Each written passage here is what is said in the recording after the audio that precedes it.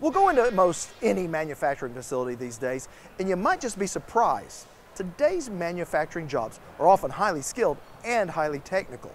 Million dollar equipment that makes the things that make our world run.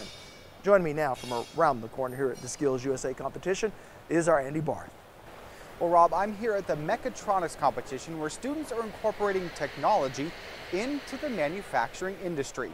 Now, mechatronics combines various types of engineering like mechanical, electronic, computer, and software engineering in order to produce efficient and useful products. Earlier, I visited one program to see just how it all works.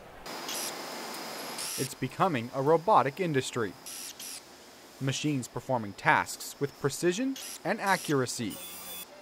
Meticulous instruments that need meticulous operators. And that's where mechatronics programs like at Southern Oklahoma Technology Center come in.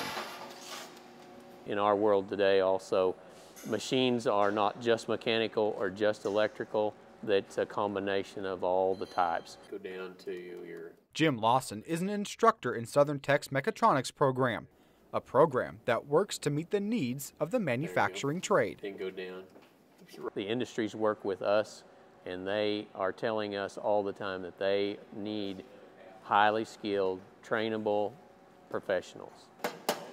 Professionals that are known as automated systems technicians, someone who can do it all. With uh, the costs of technicians these days, uh, companies want a technician that they can send out who can understand and work with just about any type of machinery. And it's a demand that Southern Tech Superintendent David Powell says is vital to keep the local economy thriving. It's very important to attract businesses. It's also very, very vital to uh, keep the local businesses that we have here. And according to Powell, more manufacturing means more dollars.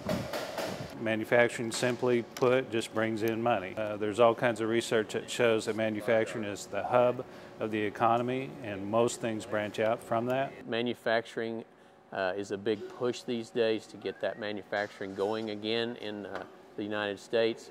Those jobs uh, are there. And for job hopeful student Newman Hoben, working with his hands is right okay. up his alley. So let's go up to... The hands-on part's a lot of fun.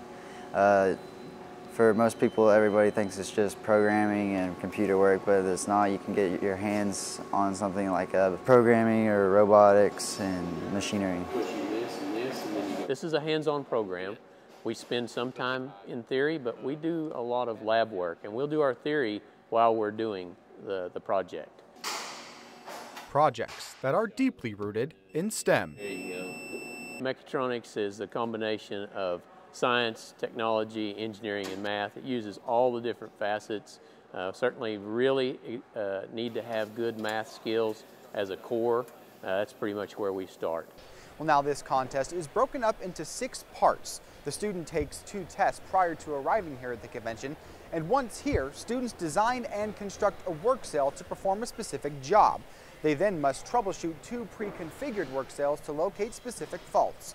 Students then move on to the alignment portion, where they perform typical alignments of things like sprockets and chains. They wrap up the competition with an oral interview where they answer questions about various scenarios. Rob? So Andy, it seems that these students are really put through a whole lot when they come to these contests. Rob, it is a very realistic contest. They really stress high quality here, and in the real world, mistakes cost money. So if a student accidentally breaks a component, not only will they not receive a new one, but they face possible disqualifications for unsafe practices. All right. Thank you so much, Andy. You're welcome, Rob.